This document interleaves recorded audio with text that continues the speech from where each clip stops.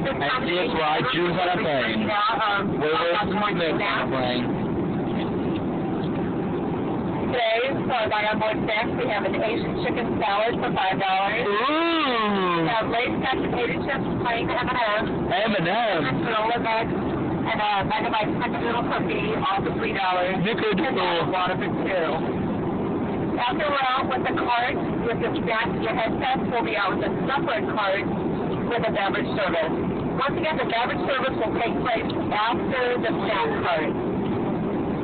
Snickerdoodle. We will be bringing several carts up and down the aisle. We need everyone to please stay out of the aisle, and if you're seated in a seat, in the C or D seat, please watch your arms, knees, anything out the aisle. We ask you to please watch that so you don't get hit by a car. I bet you the Jews won't get out of the aisle.